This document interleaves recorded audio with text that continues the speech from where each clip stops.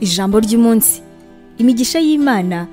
Kugira ngo ubashe gusobanukirwa neza ibi soma mu befesi igice cya mbere guhera ku murongo wa gatatu kugeza ku wa cumi na kane. Ese n'inshuro zingahe watekereje ngo iyaba disi imana yampaga umugisha? Byashoboka ko aya magambo yakuvuyemo cyangwa se ukabitekereza hari ikintu runaka wifuza. Hari uburyo bwinshi cyane bwo kubonamo umugisha w'imana gusa ubwo kenshi twe dukunze kwifuza n'ubw'ibintu hano ku isi. Abantu bakurikiye yesu nabo bakoze ibisa n'ibi. Nyuma yo kubagaburira abantu barenga ibihumbi bitanu yesu yari abizi ko ibyo bari bakurikiye atari iby'ijambo ry'imana ahubwo bari bikurikiriye iby'isi gusa. Yarababwiye ati ndabizi neza ko mutaje mukurikiye ibitangaza cyangwa se ijambo ry'imana ahubwo ni byo mwariye. Abantu benshi bakurikira imana kubera ikintu runaka baba bakeneye.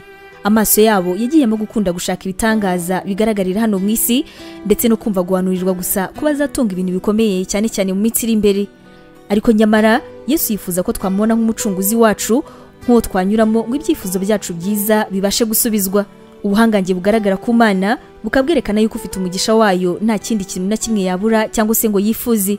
Iyi niyo mpamvu imana ivuga iti munshakishe mbere y'ibindi byose ubundi ibindi byose mwifuza nta kabuza muzabihabwa ku bwinshi. Ese uhanze amaso imana kubera ibyo uyikeneyeho cyangwa uyihanze amaso kubera ko uyikunze?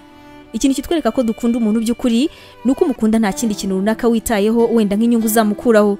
Iga gukunda imana kandi kuyikunda yonyine ubundi ibyifuzo byawe na byo bizasubizwa. Imana iguha umugisha. Tangirana umunsi wawe n'ibyishimo watewe n'ijambo ry'imana ukora subscribe hano kuri nemi tv biroroshye cyane ni ugukanda kuri ako kantu k'umutuku ubona ubundi ikintu cyose dushyizeho ukaba uwa mbere kukireba.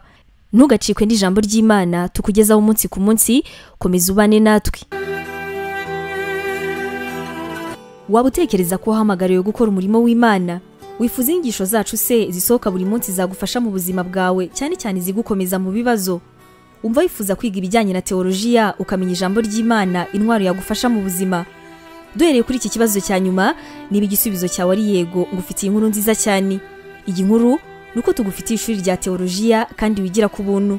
Mu ishuri ryacu harimo porogaramu zitandukanye zirimo nka pastoral studies ari bwo buryo wakwiga kuba umuvugabutumwa mwiza cyane. Tugufitiye kandi biblical studies ariyo masomo atandukanye ya bibiliya ndetse na christian counseling inama za gikristu zifasha gukomeza imitima. Kugira ngo usobanukirwe biruseho wasura urubuga rwacu arirwo wa eshatu akadomo nemi bible institute akadomo com cyangwa se nanone ukaba watwandikira kuri whatsapp kuri izi nimero. Ijana na mirongo ine na rimwe magana abiri na mirongo itatu na kabiri magana atandatu na mirongo itanu mirongo itatu na kane. Wanatwandikira kandi kuri email yacu ariyo neme evangelism arubazi yahu com. Imana iguha umugisha.